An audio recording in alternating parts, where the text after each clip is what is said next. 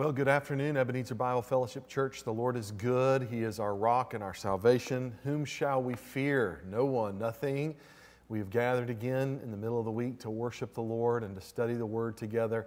So excited about um, what's going to happen today. Pastor Dick is going to be bringing a three part message series through the book of Habakkuk. And uh, we've been talking about that. I asked him to do that, and he's thrilled to do it, and I'm thrilled to hear it and I know that you'll be blessed. It is a book that is so appropriate for our day, and I pray that you'll be encouraged by it. A couple of announcements as we begin. First, we hope that you got this book in the mail uh, from us, just simply called Anxiety Knowing God's Peace 31 Day Devotional for Life. And we sent that to you. We hope that you'll use it. Uh, maybe use it uh, in your home. Read the devotion together with husband and wife, and maybe even the children. And let's just rest in the Lord. And so we want you to know that we love you. We hope you got that book and a, a sign of our love for you and concern for your spiritual well being. So we hope and pray that you got that. If you didn't get it, call us, let us know. Maybe we can get you one.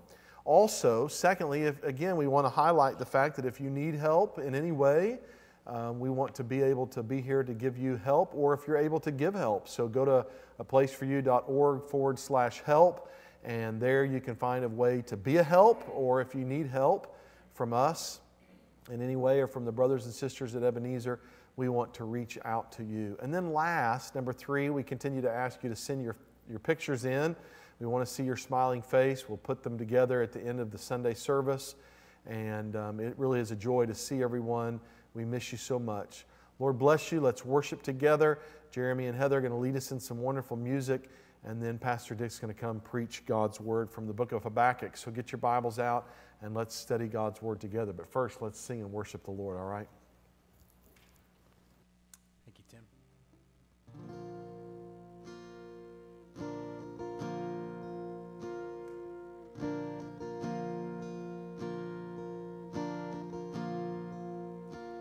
Before the throne of God above I have a strong, a perfect peace, a great high priest whose name is love, whoever lives and pleads for me. My name is graven on his hands, my name is written on his heart.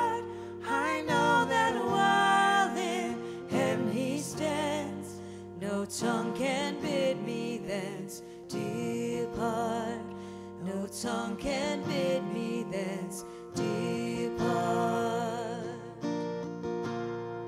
When Satan tempts me to despair and tells me of the guilt within, upward I look and see him there who made an end to all my sin.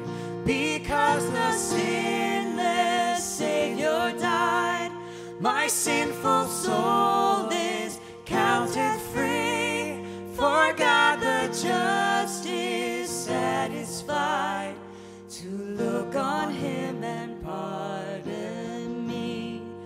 To look on him and pardon me. Hallelujah. Hallelujah. Praise the one risen Son of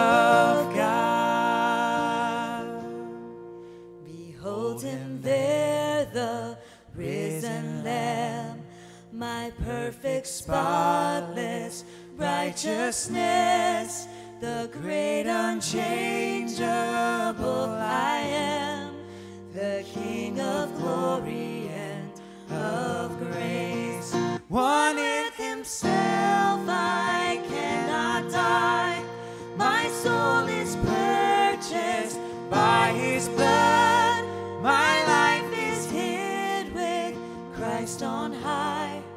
with Christ my Savior and my God, With Christ my Savior and my God. Hallelujah.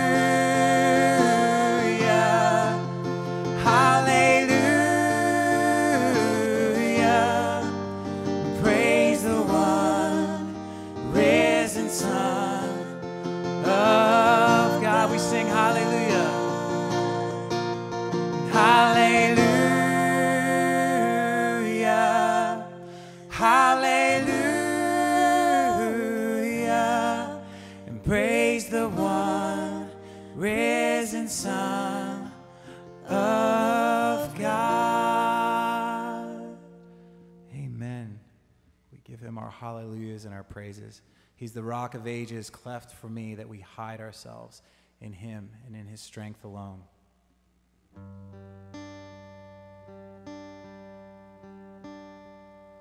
Rock of ages, cleft for me. Let me hide myself in thee. Let the water and the blood from thy wounded side which flowed be of sin the double cure. Save from wrath and make me pure. Not the labors of my hands can fulfill thy law's demands. Could my zeal no respite know? Could my tears forever flow? All for sin could not atone. Thou must save, and thou alone. Nothing in my hand I bring, simply to the cross I cling. Naked come to thee for dress, helpless look to thee for grace. Foul I to the fountain fly. Wash me, Savior, or I die. While I draw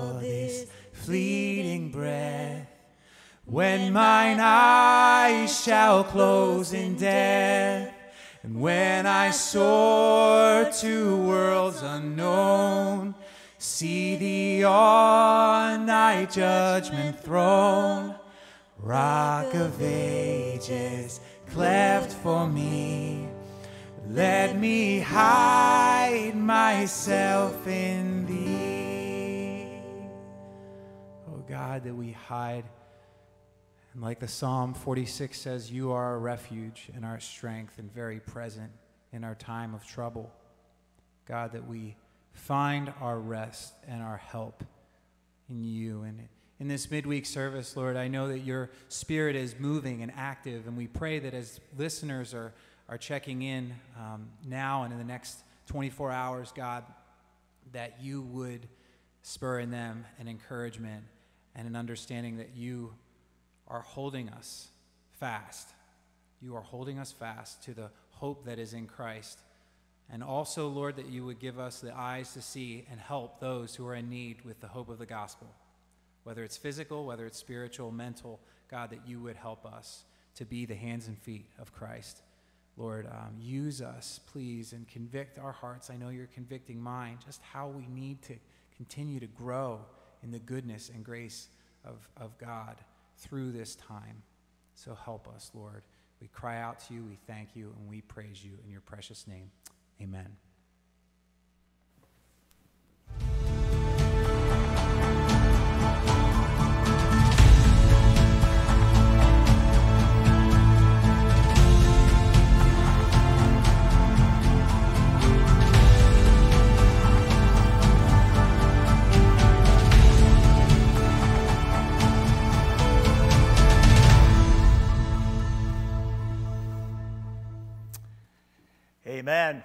It is great to be with you this afternoon, and we sure do miss you all. I know that you're out there. Uh, we hear from you, and we just, I wish we could see you uh, this afternoon.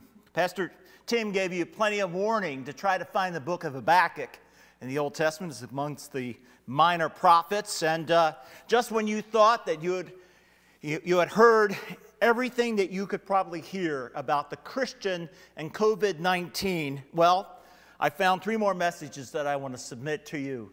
However, these messages happened a very long time ago, and they're not just COVID 19 specific.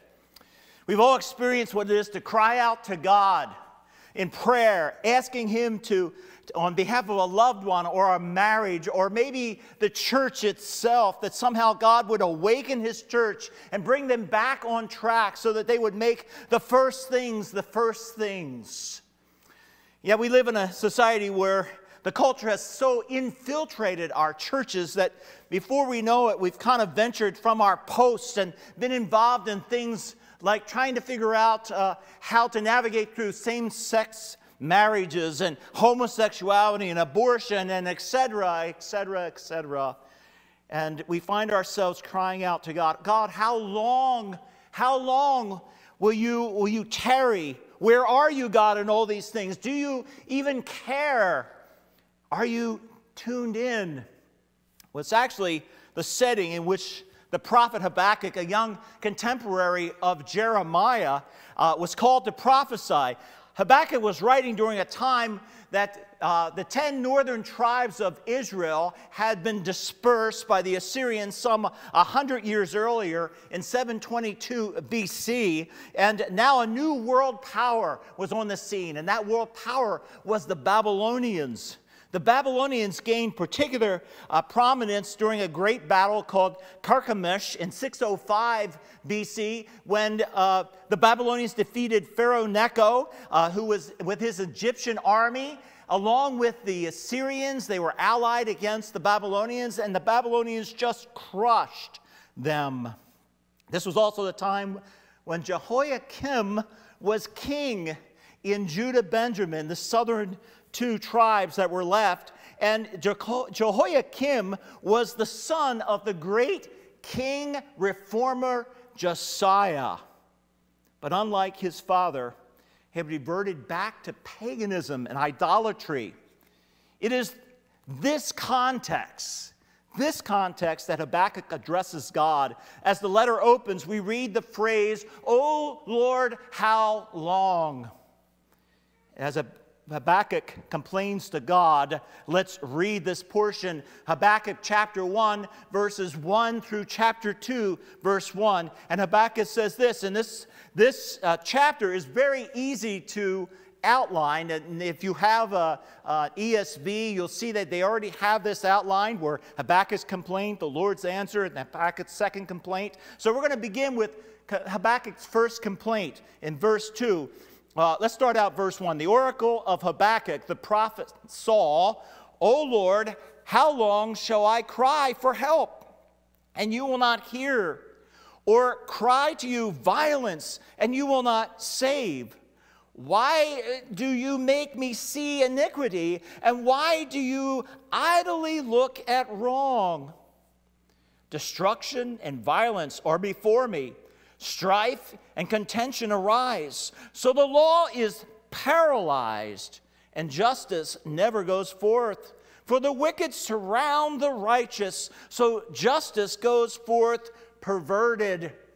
And then the Lord answers Habakkuk and he says, Look among the nations and see, wonder and be astounded, for I am doing a work in your days that you would not believe if told. For behold, I am rising up the Chaldeans, that bitter and hasty nation, who march through the breadth of the earth to seize dwellings not their own. They are dread, dreaded and fearsome. Their justice and dignity go forth from themselves.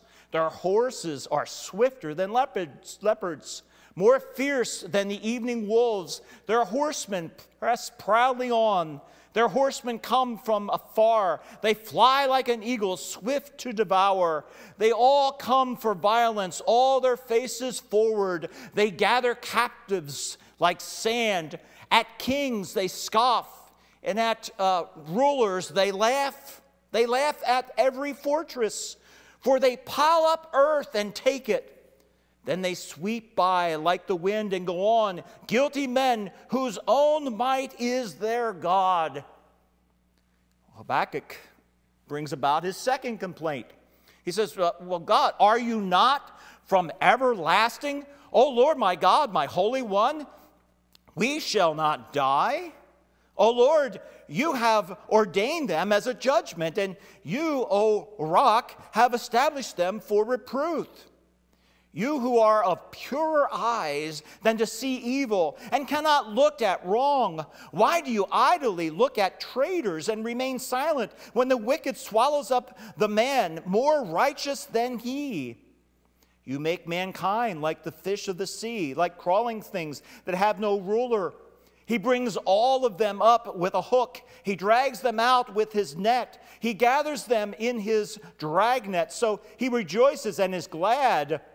Therefore, he sacrifices to his net and makes offerings to his dragnet, for by them he lives in luxury, and his food is rich. Is he then to keep on emptying his net and mercilessly killing nations forever? I will take my stand at my watchpost and station myself on the tower and look out to see what he shall say to me what I will answer concerning my complaint. Father, we, with Habakkuk, have a lot of questions about what is going on today. What, you, what are you doing, God? And where are you? I pray that this afternoon that you would speak to us through this portion of Scripture that asks a lot of questions and have you answer them. But Lord, it seems that you answer them in a way that we can't understand.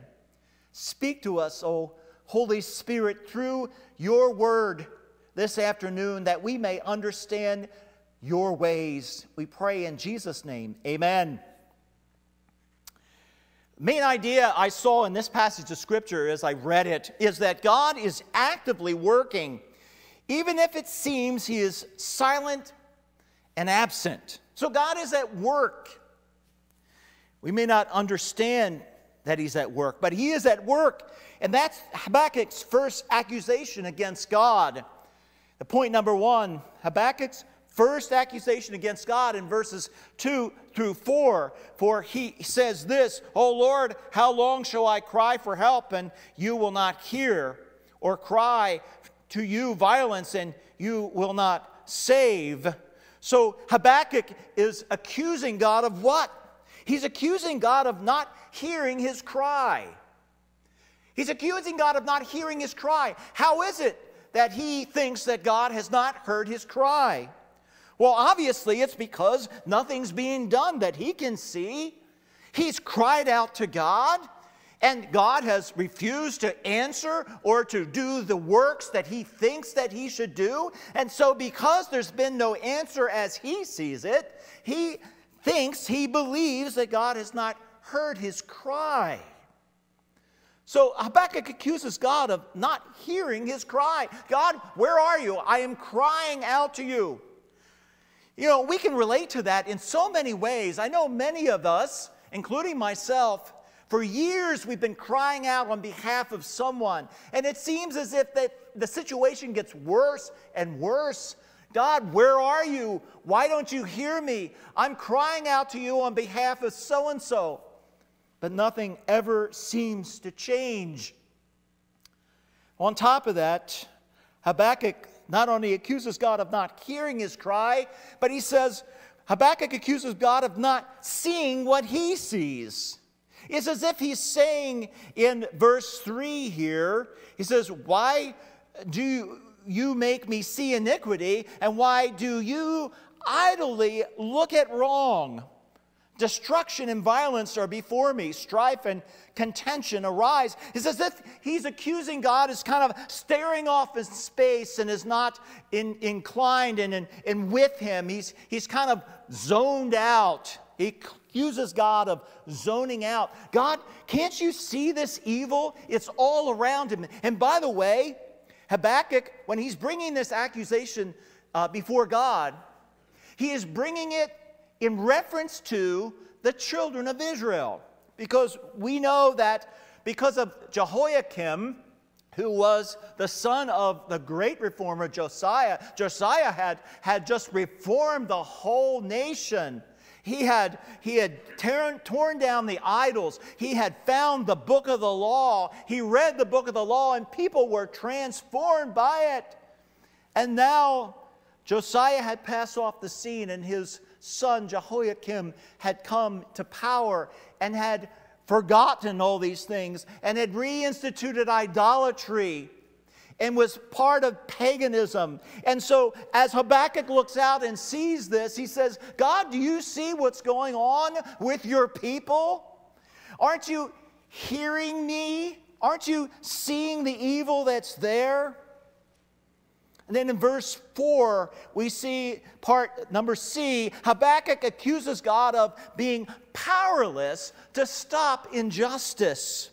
Look at verse 4. So the law is paralyzed, and justice never goes forth. For the wicked surround the righteous, so justice goes forth perverted. Oh God, can't you see? Your law, your word goes forth and it does absolutely nothing. People are still pagan, people are still engaged in sinful actions. Habakkuk's complaint in prayer is not unlike our own. So often we look around us and we see these things. We complain to God regarding the sin around us, particularly in the church. How often we as pastors have had the opportunity to sit down with people who are struggling with their marriages or struggling with their children or with some addiction, and we come before them and we open the Word of God and we present to them the truth of God's word. And for some reason, nothing changes. And we become discouraged and despondent. Though we know the word of God is the truth and the power, yet nothing changes. So, this is Habakkuk's first accusation against God. God, you're not listening to me.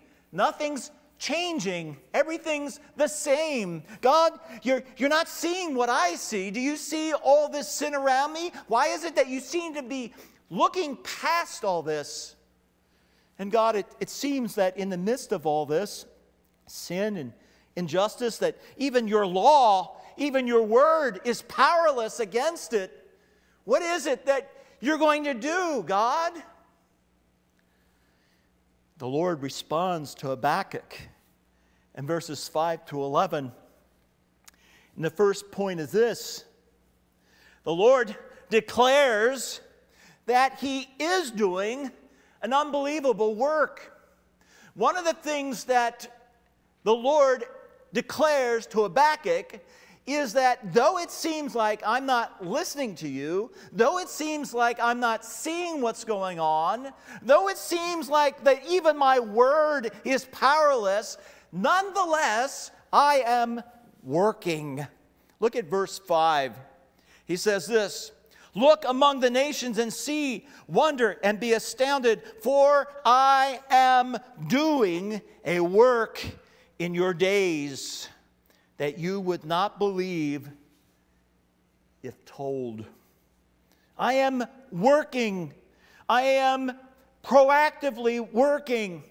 When we think about the rise of Babylon, Babylon was just a, a little country when the Assyrians were in power. But in a short period of time after the Assyrians have deported the 10 northern tribes, Babylon rose in prominence they became powerful. And according to what I believe the Lord is saying to Habakkuk, I am the one that's behind this. I have been working, actively working. Even when you, Habakkuk, do not see this work, I am still working. How often that is needs to be the response to us. We assume because God is not doing the things the way we think He should do them, and in the timetable that we think He should do them, that He is therefore not actively working. But be assured that God is working, He is actively working. And He's doing what He calls the unbelievable work. It's a work that even Habakkuk will not understand. Secondly, we see that God, the Lord declares that He is using the godless or the Chaldeans to bring judgment. This is astounding to think about. God is using the godless to do his work. Verse 6 this is what he says For behold, I am what? I am raising up the Chaldeans. And he himself describes them as a bitter and a hasty nation who march through the breadth of the earth to seize dwellings for their own. So, secondly, when the Lord is responding to Habakkuk, he says, Listen, I am raising up, I am raising up the godless Chaldeans for my purpose. What is that purpose? To bring judgment upon my people. This is astounding. This goes against everything we know about God, and we'll get to that in a minute because that's basically going to be Habakkuk, Habakkuk's second uh, complaint is that this doesn't sound like you, God. But before we get there, I want to make one other point about the Lord's response to Habakkuk.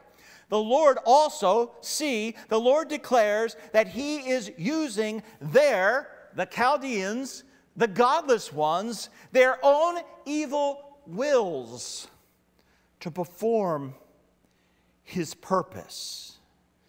Now, many of us will really struggle at that. God is using the evil wills of human beings for his own purpose.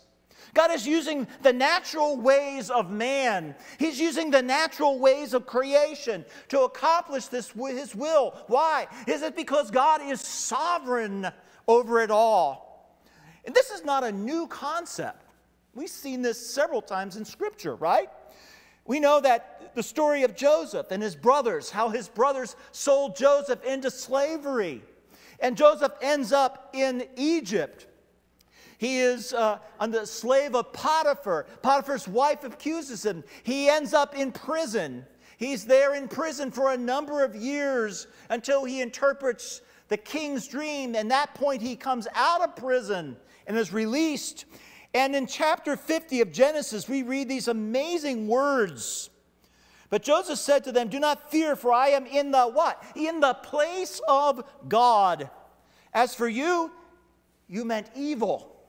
You brothers meant evil against me, but God meant it for good to bring it about that many people should be kept alive. How about the story of Job and Satan? We all know that Job was a righteous man. He did what was right before the eyes of God. Of course, we know that Satan went into the presence of God and, and demanded to, to try him, and God gave Satan permission to do that. And Satan endured this trial that he didn't deserve. But Satan, but, but Job was, was endured this trial, and at the end of that trial, he brings glory to God saying that now I know God. And what was it that brought about this trial? What brought about that perception was the trial that Satan, the evil one, had, had, had gone against Job. How about Peter? Peter was, was sifted in, in Luke chapter 22, verse 31 through 32. Simon, Simon, behold, Satan demanded to have you that he may sift you like wheat. But I have prayed for you that your faith may not fail. So God had allowed Satan to sift Peter. How about the Apostle Paul with the thorn of the flesh in 2 Corinthians 12, 7 through 9? He says, So to keep me from becoming conceited because of the surpassing greatness of the revelation, a thorn was given to me in the flesh, a messenger of Satan to harass me. So God had permitted Satan to harass Paul. And the greatest of all examples of this is the crucifixion of Jesus. Acts 2 23 says this just Jesus delivered up according to the definite plan and foreknowledge of God, you crucified and killed by the hands of lawless men. So, the very fact that God uses evil is nothing new. Now, we know that God is not evil. God cannot be tempted with evil. He is not evil. He is transcendent, which means he is outside of sin and evil. It has no effects on him. However, God is sovereign and he uses sin, even the sin of human beings, for his own plan. This can be a comfort to us because the reality is someone is sovereign. If evil is sovereign, then we have more of a problem than if God is sovereign over evil. So, this is God's response to Habakkuk.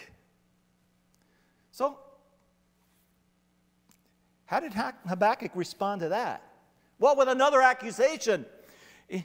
He says, Habakkuk, second accusation against God in, in verses 12 through 2 1, he more or less says, he, Habakkuk accuses God of not knowing even his own character and forgetting about his covenant people. Look at verse 12. He says, And you, are you not from everlasting? God, do you remember that you're the everlasting God? O Lord, my God, my Holy One. Remember that, God? We shall not die. Why should we not die? Because we are your covenant people. And because you are the covenant keeping God and you are the Holy One, the Eternal One, we, the covenant people, we're not going to die, right? O Lord, you have ordained them as judgment, and you, O rock, have established them for reproof. How often do we accuse God of not being God because what is going on doesn't seem to line up with his character, right? So we have this character image of God. It's almost like we take God as if he's a grapefruit, right? And you've got all these segments in that grapefruit. And, and so here's, here's love. Yes, God is love. Yeah, we like, we like that one. How about, how about uh, merciful? Oh, yeah. yeah. Yeah, let's pick that piece too. Gracious, yes. Long suffering, absolutely. Faithful, yes. Well, what about wrathful? What about just? What about holy. What about these other things? We, we somehow think we can take God as, a, as we can a grapefruit. Let's just eat the segments that we like and we can throw away the rest. However, the, the attributes of God are all encompassing. God is all love, God is all holy, He is all wrathful, He is all long suffering. God is all of these things. We cannot segment God. We sometimes become so presumptuous in our evaluation of God or what God is, is in or what He's a part of or not a part of. If, if, if what God is doing is making me feel comfortable, then certainly God is in it. If what is going on in my life, if I have to endure some sort of hardship, so apparently God is not a part of that, Satan is part of that, as if Satan has more power than God. So when Habakkuk accuses God of not having, not knowing his own very character, God, hey, wait a minute. You know, if we remember, remember Peter? He, he did that too, right? He had just declared in Matthew 16 that you are the Christ, the Son of the living God. And Jesus said, Blessed are you by Simon Bar Jonah, for flesh and blood haven't revealed that to you, but my Father who is in heaven. And then Jesus goes on to declare to disciples that he was going to die and he was going to be buried and then rise again the third day. And Peter takes him aside, you know, no, no, Lord, that's not, that's not you. you are the Son of the living God. Remember that? That's your characteristics. Certainly you're not going to die. Jesus declared to him, Get thee behind me, Satan. For we have this image of God that we have created in our own image. You know, this image of God that is all loving, all merciful, all gracious. He is, he is forgiving, He is faithful, but certainly He could not allow something evil to happen to us. Certainly not a trial We are his covenant people, his covenant community. Habakkuk gets even more intense because the second point here is that Habakkuk actually accuses God of treason by allowing the unrighteous Chaldeans to swallow up his covenant people. Look at the last part of verse 13. Why do you look idly? Uh, why do you idly look at traitors and remain silent when the wicked swallows up the man more righteous than he?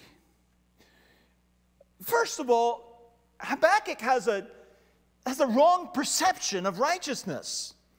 He thinks for some reason that there's a scale, that God has a scale, and that He's grading on this scale, and that because we are God's covenant people, certainly the scale is going to weigh on the side of righteousness, and that anybody who is uh, who is opposing to us is going to be weighing on the side of unrighteousness. So we would uh, we would see that God would certainly condemn the unrighteous, but save the righteous. And, and certainly we, as God covenant people, are the righteous ones. There's something else involved here that may not be evident, but think about the government of that day in, in light of the children of Israel. The children of Israel had a theocracy. Theocracy means that God ruled government. And during that time, they had kings, they, they had the monarchy, now, the kings ruled in God's stead. There was a co regency that was going on where, as the king ruled, he brought God's law, God's words to the people. So, if you take this people and you deport that king and you bring another ruler in, then that means that God is no longer ruling and he's giving up his throne for someone else, in this case, for the Babylonians. So Habakkuk accuses God by allowing the Babylonians to come in and take over his people, that you are engaging in treason, God. You are no longer going to be in control. I can imagine that Habakkuk was thinking about this time and thinking, wait a minute now, um, what I had in mind here was that God was going to do a work like he did in Josiah's day. You know, uh, the people were wicked. And Josiah came to the throne and he instituted reform and he brought out the word of God and, and people were changed and transformed. God, that's what I had in mind, not this idea of another nation, a godless nation coming in and, and, and, and being transported into your throne room, as it were, taking over for you. You know how often we think about that. You know, we we can always ask the question Did God allow the COVID 19? Here's where the COVID 19 part comes in, okay? Did God allow that? Is it a judgment from God? I've been asked that question. I don't know if it's God's judgment, but God certainly allowed COVID 19. He has allowed it. But but, but God, what if this is, you know, maybe in an answer to our prayer, God, I pray that the church would wake up and revive and that people would take seriously your word and what, what you are teaching them as far as them, them as a family, as a husband, as a wife, as, a, as a, uh, um, an ambassador for Christ. Couldn't you just bring revival, God? That would be great. Let's let the Spirit of God just fall upon everybody, and where they are, they would be transformed by the power of God.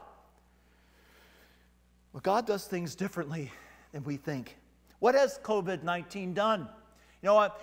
Uh, Pastor Tim and I, and, and some of the pastors have talked about, it would be great at the end of all this to have a testimony service. What did God show you during this pandemic? And see the great and glorious things that God has brought about through this. Thirdly, we see this Habakkuk accuses God of allowing the unrighteous deeds of the Chaldeans to continue without judgment.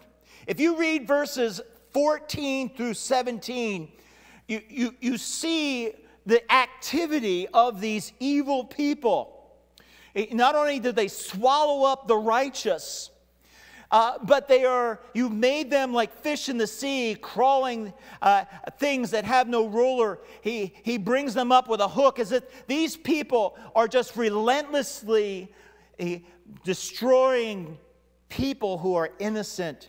And God and this godless group has no concern for anybody but themselves. In fact, the things that they do, it's in verse 16, it says, Therefore, he sacrifices to his net. In other words, he thinks the activities that he's involved in, that's bringing him great gain, have become like gods to him. He worships them. Verse 17, he says, Is he then to keep on emptying his net and mercilessly killing nations forever? God is evil going to prevail forever and ever? Are we never going to see you work? Sometimes the unrighteousness around us seems to continue without any sign of ending. And in regard to this, many unrighteous people become so arrogant at their unrighteousness. So Habakkuk presents what he considers a good case before God. God, there's evil all around me. God, don't you see? Don't you, don't you hear? God, God are, are, are you tuned out? Do you, do you not know what's going on? It seems that even your very word is powerless in this day and age. Well, God responds and says, Yes, I do see I am doing a great work. I am doing an unbelievable work. I am doing things that you would not even understand. I'm raising up a godless nation. I am raising up godless things to bring judgment or to bring change. And not only that, I'm allowing these things to continue in their natural ways. I'm not going to stop that, that evil person or that evil thing from continuing. I will control it, but I'm not going to stop it. I'm going to bring about my plan. How often, in response to that, we say, God, that just can't be you. I know you. You are such a loving God. You are a God that gives us hope, and somehow we presume on the fact that because we are God's covenant people, we could never incur his judgment upon us. Yet Habakkuk is going to learn some valuable lessons here. Because the title of this one was, Oh God, where are you? And when we come into next week, we're going to ask the question, Well, then how shall we live? If this is what you are doing, God, then how should we navigate through this time? How are we going to keep our head above water, God? God's going to tell us very clearly. So, some so what's here. Let's, let's look at a couple things here. Are we guilty? Yes, I am. Of putting God on trial because the things are not happening the way we think they should we somehow think that God needs to respond as we have ordained. Do we think that because nothing is going on, that nothing is happening the way we think it should, that somehow God is not at work? Just because there seems to be nothing happening does not mean that God is not working. God is always proactively working. By the way, if we look at the, the all of Scripture, we'll see that God works proactively, never reactively. He's not saying, Oh, I didn't know that was going to happen. What should I do? No, God is at work. He is proactively bringing about His will. His will will be done, His decrees will happen. Is it difficult for us to understand God's use of the control of use and control over evil? Sometimes that concept is difficult for us to understand. We trip over that because we know that God is pure, He is holy, that He doesn't, He hates sin, and sin was crushed on the cross with Jesus. That's how, how much He hates sin. However, God is certainly able to control and to use it for His glory. So, what should we take away from this? I would say we would take away from this that let's not put God on trial because we don't understand what's going on. We don't know how much longer COVID 19 is going to be here. We don't know how much longer we're not going to be able to assemble together. And somehow we think that this thing is in control and God is kind of passively watching. No, God is in control of the whole thing. He knows when the day will come where we can meet again. He knows what life will look like during that time. He wants us to understand that He is in control of all things. Even if we can't understand it, it was difficult for Habakkuk to try to understand how God could use such a wicked, wicked nation like the Babylonians, but God proclaimed that He was. So, next week, when we talk about this again, we're going to see the burden, the oracle. In fact, that word oracle in the chapter, uh, in chapter 1, verse 1, it really has to do, it's a term it's a technical term for a prophecy of judgment. Well, right now, it doesn't seem like there's any prophecy of judgment except what Habakkuk is bringing before God. But when we go to chapter 2, we're going to see the judgment that's pronounced actually on the Babylonians. So stay tuned for next week. If you are curious, read ahead, study ahead, and be prepared to come back and we'll answer the question what then, how then shall we live in light of all this? Let's pray. Father, I thank you for your word. Father, there are things in your word that are so difficult for us to understand. We somehow have conjured up this idea of who you are and what you do. And when you go out of those boundaries that we have set, we somehow claim that you are not understanding what's going on, that you are not tuned in. Father, help us Help us in the midst of it all to trust you that you are at work. You are at work right now in COVID 19. You're at work right now with all that's going on in our nation, in our world, with our president, with our governors. Father, help us to trust you. Help us to be in tune with you, to cry out to you when we don't understand, and fill us with your peace, I pray. In Jesus' name, amen.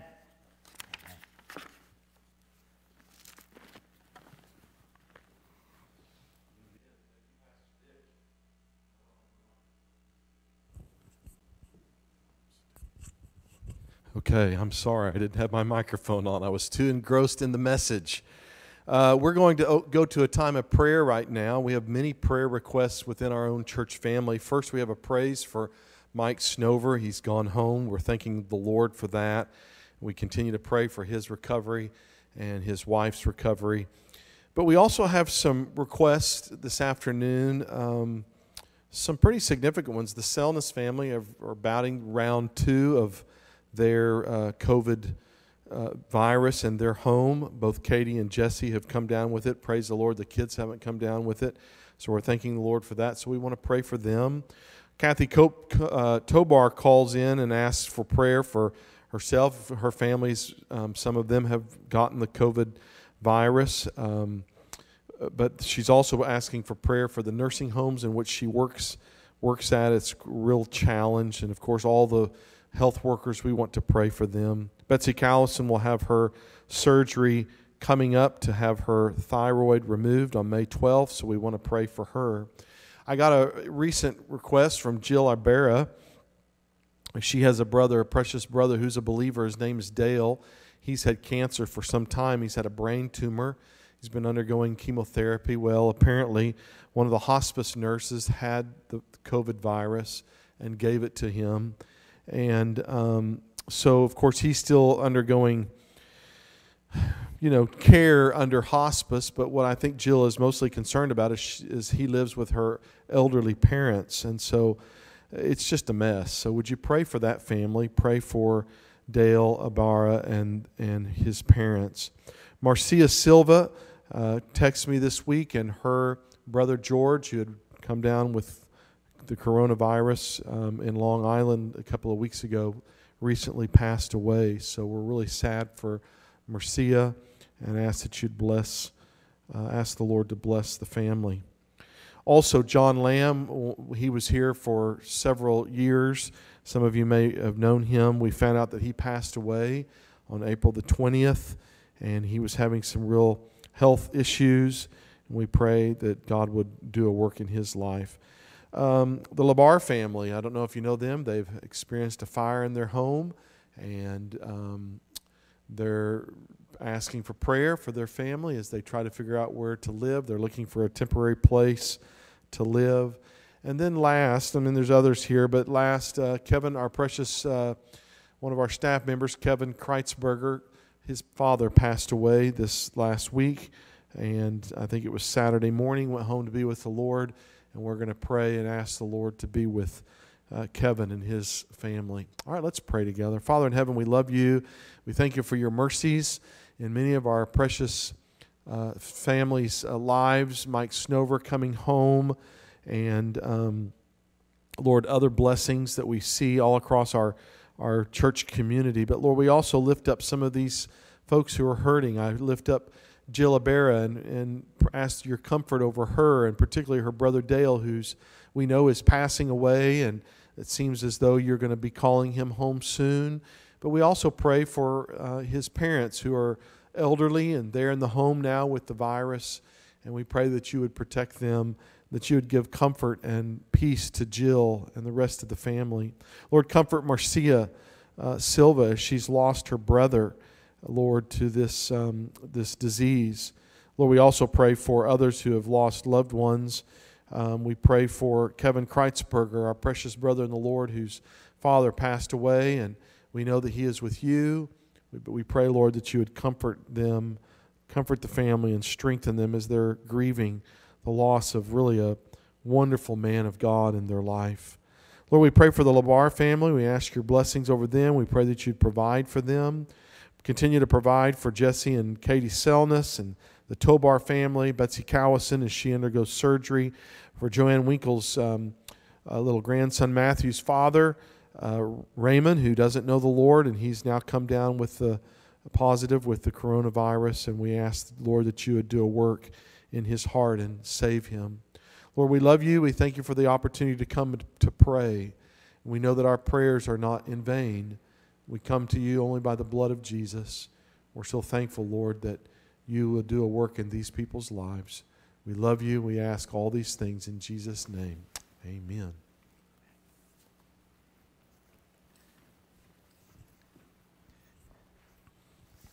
We're going to continue to lift up some of the people on our list and particularly want to focus in on some of the missionaries uh, Luke and Gretchen Rowley, uh, Jim and Lynn Head, John Bovard, and uh, Russian Radio, and uh, Mark and Shannon Fodell, and uh, Art and Vic, Vicky Reyes, Reyes and uh, Kyle and Rebecca Kovar, Koval. So these precious people are our missionaries and they are experiencing very similar things that we are experiencing, and yet don't have many of the comforts that we have. So let's go before our great God and bring them to Him. Father, we thank you and praise you that we can come before you in prayer, that you do hear our prayers. You are tuned in to our words and our world. Father, I want to bring before you Luke and Gretchen Raleigh and in their work in the world impact in the cities of our nation. Father, I pray that they would continue to be able to bring the good news, even in the midst of, of a time where people are so broken and we are, we are so closed in. I pray that you would continue to help them and continue to protect them and guide them into how they can continue with their ministry. We pray for our brother and sister Jim and Lynn Head. I pray that you would help them um, in the, the final stages of, of Lynn's book she's writing. I pray that you would help them physically and, and they would have a personal renewal. I pray that you would give um, Jim uh, the ability to be able to sell their parents' home and uh, that he would continue to be able to do effective counseling.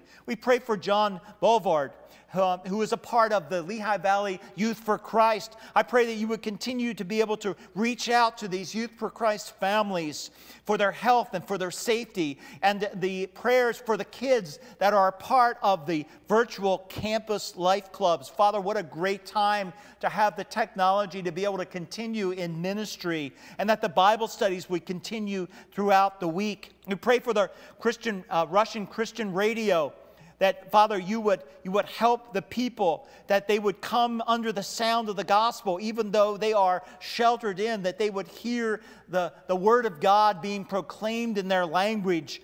We pray for mark and shannon fodell with disciple makers I pray that you would continue to comfort them and the students that are in the midst of a time of great disappointment where they are not able to graduate or continue on in, in their classes. I pray that you would help them to be able to uh, minister, even if it's virtually, with, with the ministry of the Word of God. I pray for the financial pressures that they are undergoing. I pray that you would meet their every need I pray for Art and Vicky Reyes in, in Mexico. I pray, I pray that you would, they would find ways to feed and encourage the flock there during these unprecedented times. And Father, I, I, I pray also for Kyle and Re- Rebecca uh, Covo in, in Italy. I pray that you would help them and, and that you would continue to help them to be guided in the way they can share the gospel with others and disciple them. Father, I thank you for their praise, that they've been blown away at the opportunities that you have given them, even this past week. They, they have been able to, to come alongside of people and to be able to give them time and to disciple them and to meet their needs. I pray also that uh, you would help them as they are looking forward to a disciple making movement in uh, Ancona in 2024. Father, that you would provide for them, allow them to continue to do this work. Father, we know that though coronavirus is here, that your work continues to go on that there is nothing that thwarts your plan. Be with your servants, your people who are, who are on the front lines, who are proclaiming the gospel, who are discipling, who are helping people. Father, I pray that you would give them a sense of your presence and, and the grace that they need to continue on. We pray in Jesus' name. Amen.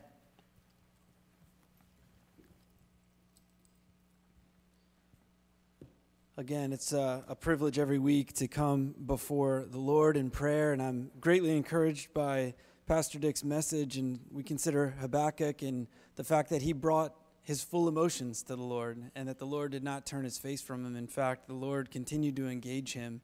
So we understand that there's frustrations and trials, but we are thankful for a God who is big enough to handle that when we take those to him. I have an opportunity to pray for our broader community, so why don't you join me at this time? Father God, we continue to cry out to you for protection. God, we cry out to you um, for peace and for hope in the midst of what can seem like such a chaotic and, and hopeless situation. But Lord, you are putting people in uh, the path of this disease in order to serve others. We think of the doctors and healthcare workers. Uh, specifically, now we really want to lift up these extended care facilities that seem to be the facilities that are getting hit the hardest. God, may you provide protection. May you provide wisdom. Lord, if there's new measures of treatment, would you make them available uh, to these places, Lord? You uh, value our life. You really do, but we understand too that uh, our sin has led to a broken creation and a creation that leads us uh, to death. Yet, God, you have sent Christ uh, in our place for the judgment that we deserve. You have sent him there. And, and those of us in Christ are going to celebrate eternity with you, God. I pray that through this, more and more people would come to Christ, that they wouldn't turn to other things to find peace, but they would turn to you, that they would turn to your word. God, I pray for all the frustrations uh, that are mounting for people. Uh, we see demonstrations and protests, and God, we don't know the answer, but you do. I pray for peace among neighbors who might uh, be angry at how their other neighbors are handling situations, for the people shopping in stores, for the staffs of those stores, Lord. It just it feels so intense in many ways. And so, God, I pray for peace. I pray that we would love one another well. I pray for our governors and the decisions that have put, been put before them, Lord. We think of this three stage kind of approach to reopening our country. And, and God, that is a tremendous amount of pressure and decisions. And while we may agree or disagree with some, God, I pray that we would be lifting them up in prayer. I pray that you would give them wisdom, that you would give them insight. I pray that you would give us a passion to see these things happen. I pray that we would lay uh, beside our differences, Lord, and we would be united and crying out to you for deliverance. Lord, crying out to you for hope. We pray specifically for the Lehigh Valley that seems to be hit so hard right now uh, by this virus, God. Would you continue to provide doctors and uh, the medications and the equipment necessary to treat these things? But most of all, God, we pray that your gospel would go forth, that through all of this, your church would be strengthened, that through all of this, uh, many people would come to claim you as their Savior. Lord, that we would rejoice at the end of this, that this was a revival season. All that we have struggled through, and all the hardships that may come would matter not as we see your church grow and expand. God, may we be people who truly believe that. May we be a church and a congregation that knows that you are at work, that we would proclaim the excellencies of you who's called us out of darkness into marvelous light. May we trust that marvelous light. May we rest in that. And may we turn to Christ in our moment of need. It's in His name we pray. Amen. Amen. Well, we're so glad that you joined in with us. Psalm chapter 34 says, Oh, taste and see that the Lord is good. Blessed is the man who takes refuge in him. And that's what we're doing. We're taking refuge in him. So we're thankful that you joined us. Come back again on Sunday. We're going to start a new series in Romans chapter 8. I'm so excited about that series, More Than Conquerors. For 10 sermons, we're going to be looking at that wonderful chapter together uh, declared as probably the greatest chapter in all of the Bible. So it's a storehouse, it's a treasure chest of the glories and blessings of God to his people. And so we're so excited about starting that series on Sunday. Lord bless you. Hope you have a wonderful week. Keep the Lord first. Amen.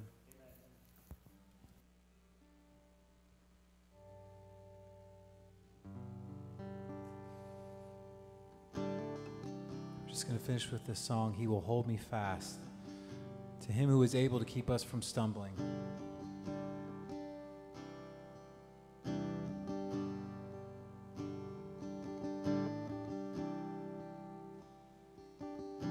And when I fear my faith will fail, Christ will hold me fast.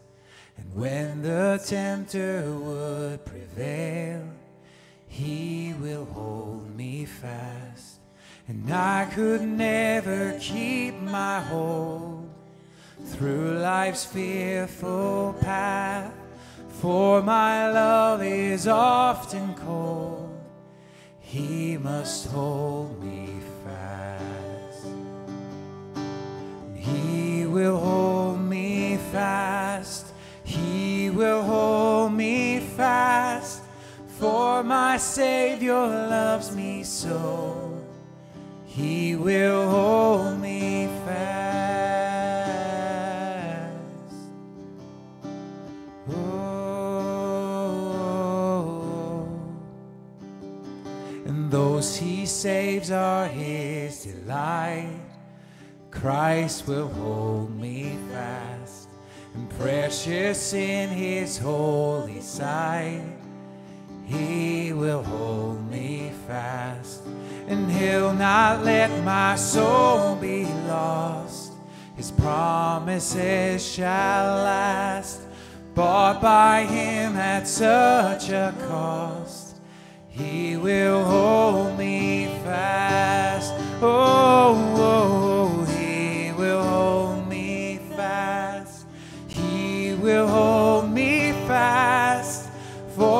Savior loves me so, He will hold me fast. Oh, oh, oh. for my life He bled and died. Christ will hold me fast, and justice has been satisfied. He with him to endless life. He will hold me fast till our faith has turned to sight when he comes at last. Oh, oh, oh, he will hold me fast. He will hold me fast. For my Savior loves me so. He will hold me fast. Oh, oh, oh, he will hold me fast. He will hold me fast. For my Savior loves me so. He will hold me fast. And I'll finish with this doxology from Jude. Now to him who is able to keep you from stumbling and present you blameless before the presence of his glory with great joy to the only God our Savior through Jesus Christ our Lord be glory, majesty, dominion, and authority before all time, now and forevermore. Amen. Bless you today and the rest of this week, and we hope to see you again uh, this Sunday as we pre record the service. Have a good day.